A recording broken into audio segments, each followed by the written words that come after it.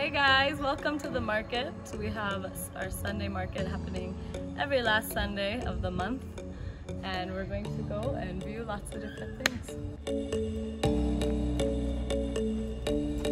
I can't go fast enough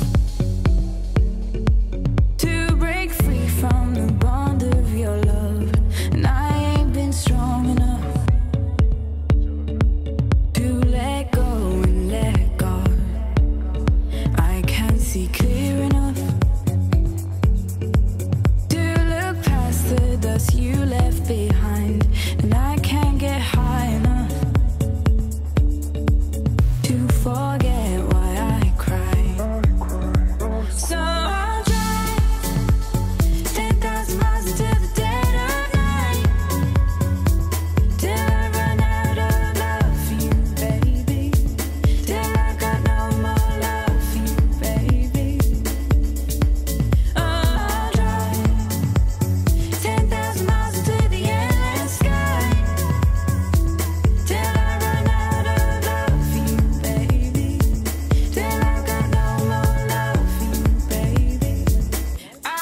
drive all night.